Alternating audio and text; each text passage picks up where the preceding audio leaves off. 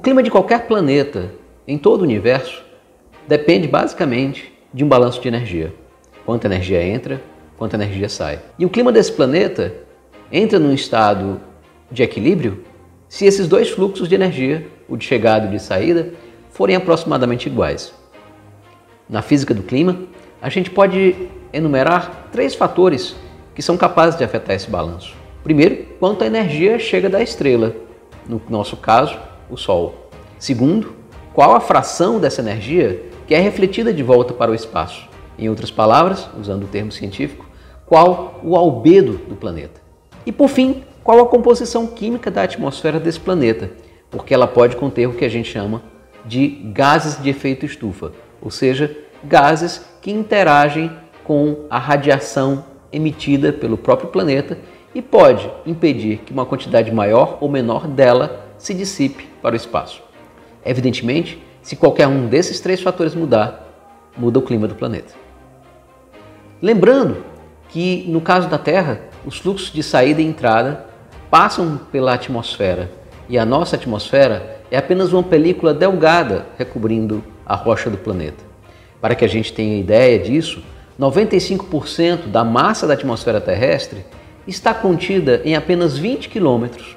Ao mesmo tempo, o nosso planeta é aproximadamente uma esfera com 12.800 quilômetros de diâmetro.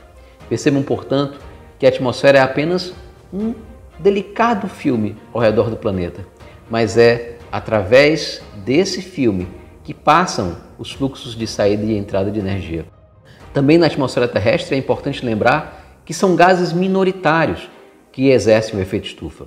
O vapor d'água, o dióxido de carbono, o CO2, o ozônio, o metano e vários outros.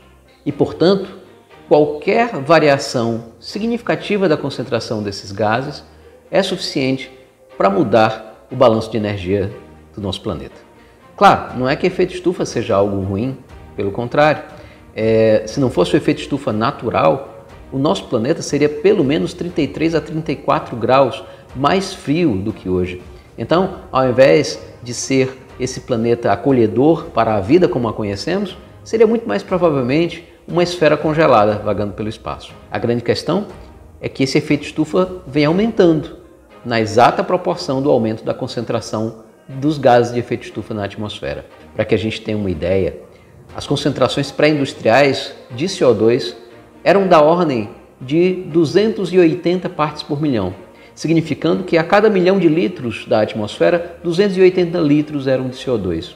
Hoje, essa concentração já cresceu quase 50% e nós chegamos à impressionante marca de 417 partes por milhão em maio de 2020.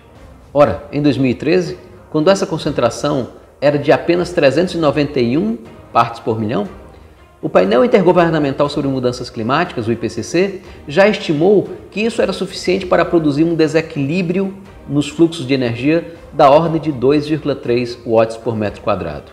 Sim, a energia que vem do Sol, ela não mudou, ela continua a mesma. Mas a quantidade de calor que a Terra manda para o espaço diminuiu em função desse aumento na concentração de CO2 e outros gases. Para que a gente tenha uma noção mais precisa do que isso significa, se nós pegarmos esse número e multiplicarmos pela área da superfície da Terra, a gente encontra qual é o tamanho do desequilíbrio energético gerado a cada segundo.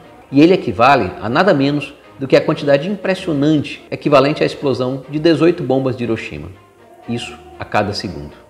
Sim, estamos falando de 1,56 milhões dessas bombas todo dia.